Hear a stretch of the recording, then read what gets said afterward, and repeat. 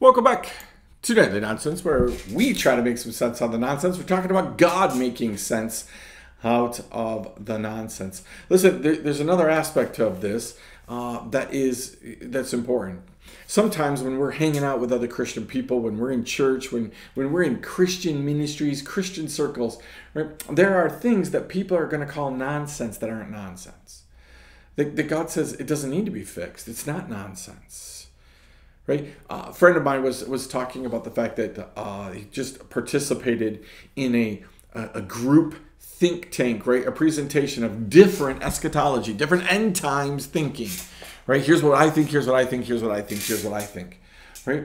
The the truth is. Four, four, five, six, seven, eight, 10, 20, 50, 100 of us, thousands of us, millions of us have the same thing.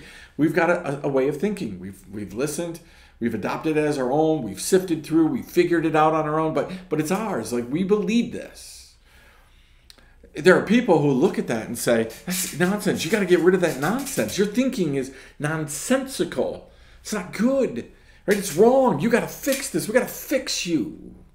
Right? We hear that all the time with addictions and things like this. We got to change your thinking.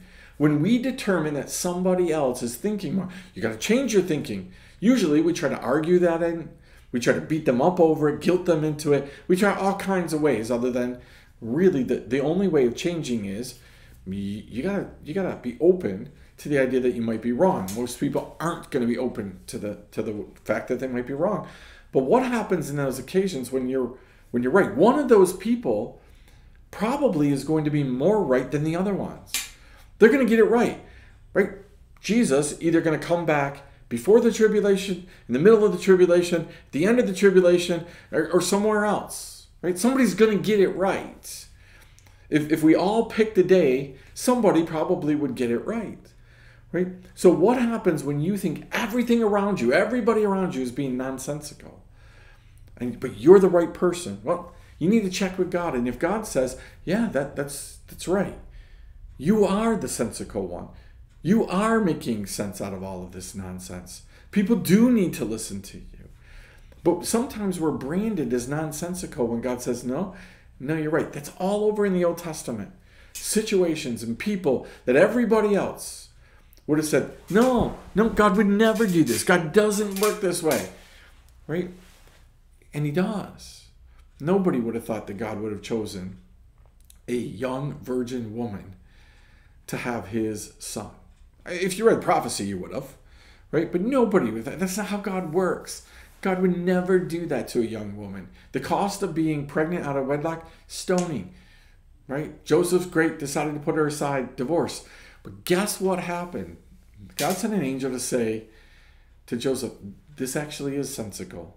This actually is what I'm doing. Everybody else thinks it's nonsense. It actually is sense. Right?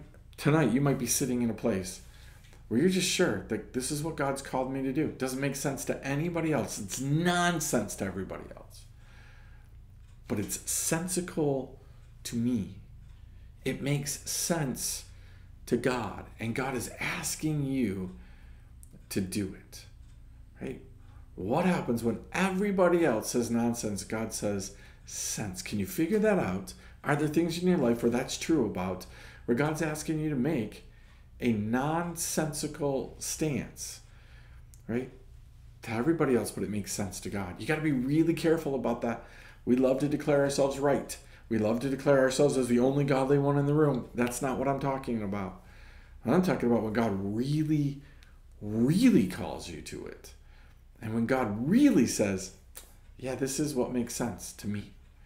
So there's a lot to chew on that. You probably need to sift through some stuff, right? Think about your life. What are the things you've declared sensical? God says to nonsense. What are maybe some of the things you've declared other people have declared nonsense, but God's like sense, right? Think about it. We'll see you next time. Nightly Nonsense.